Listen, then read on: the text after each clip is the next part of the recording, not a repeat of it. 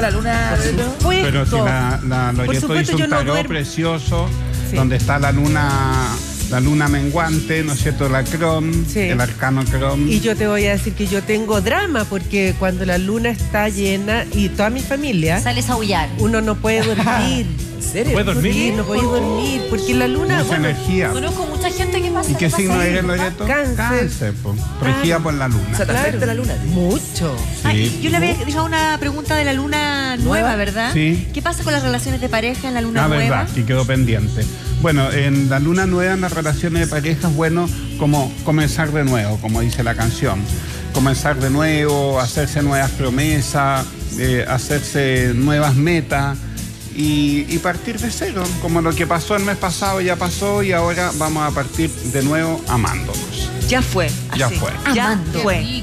La luna, la luna nueva, eh, ¿cada cuánto aparece? Cada 28 días se repiten los ciclos, o sea, cada 28 días hay luna llena, cada 28 días hay luna nueva, cada 28 días hay luna creciente. Los ciclos en la luna son 28 Y ahora días. estamos en luna creciente. creciente. Sí.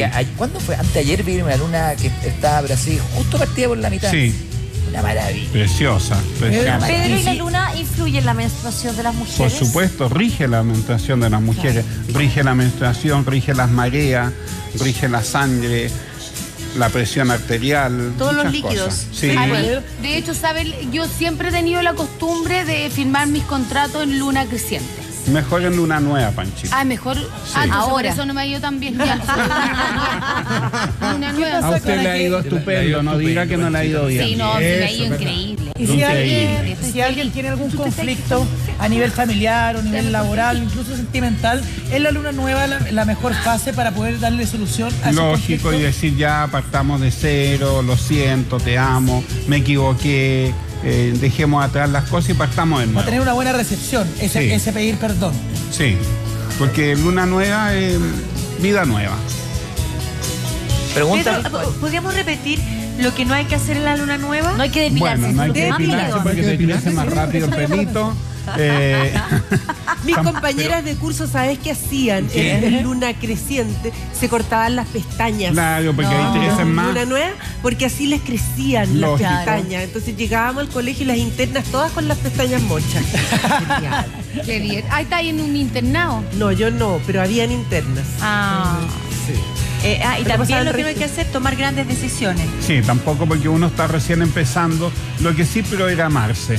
Eh, ¿Qué es lo que voy a lograr este mes? ¿Qué- ¿Hacia dónde quiero dirigir mi energía para la luna llena? En la luna nueva. Por usted dice también hay que tratar de eliminar los malos hábitos.